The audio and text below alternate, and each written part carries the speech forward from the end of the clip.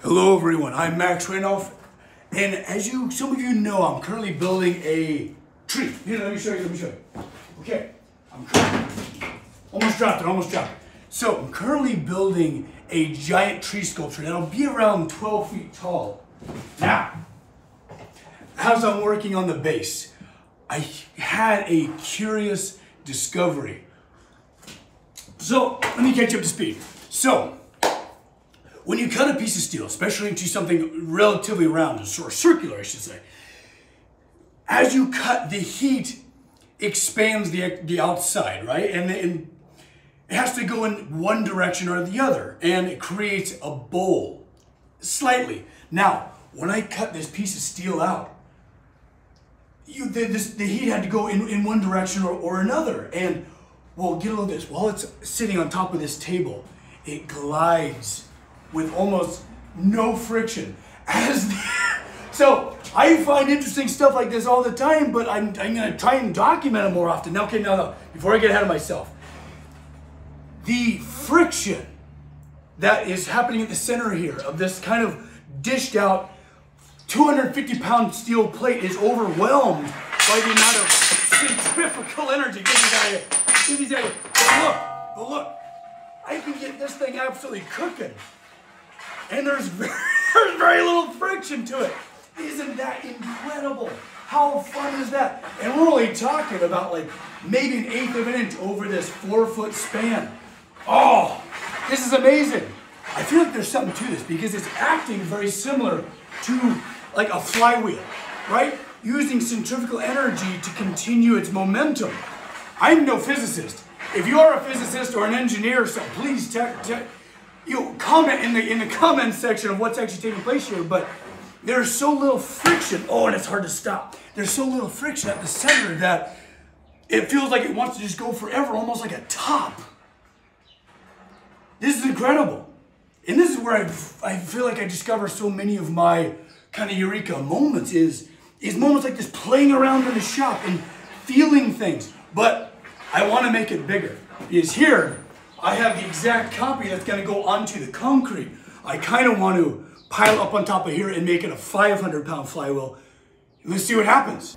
Okay, now I'm to slap a little bit of oil under here just to make sure it's extra slick. All right, let's see here.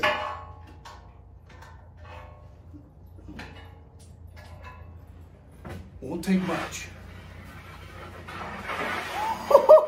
All right.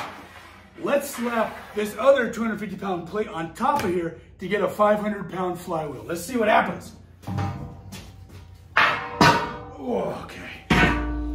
Whew. Ooh, listen to that. Whoa.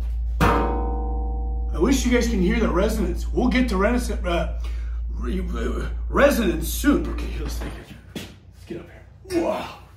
Boy. All right. Ooh, it's a moment of truth. Okay, 500 pounds of steel. Ooh, doesn't really need to be lined up now, does it? Okay, all right, here we go.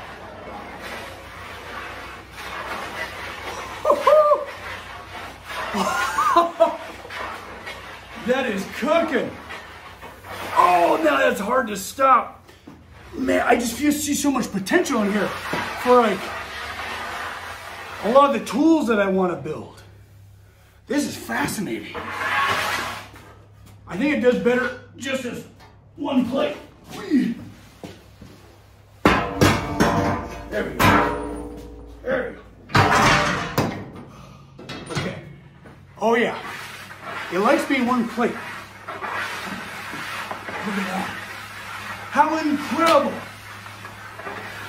This gets me back to like hit and misses and steam engines and things because it's easy to get it started, but it's really difficult to stop. Let me see something else. Okay, I feel like I described it enough, as much as I can, uh, without showing you what's actually happening. Uh, come here. Okay, so the whole frame itself is just on top of this little table that I use for layout, and it's just gliding on top of that plate. How cool is that? So, there's many ways I feel like you can make this thing work. Imagine, imagine a mechanism going forward and backwards. Almost like a locomotive. Forward and backwards turns into circular motion. Or vice versa. Just forward and back. We can get this thing cooking. Oh, that's terrifying. A little terrifying. There we go. Oh. It's just stuff like this that gets me so wound up and it leads to ideas in the future. So for those of you out there that perhaps worry about wasting time or anything like that, waste your time and experiment, have fun, because you never know what it might lead to. Thank you for watching.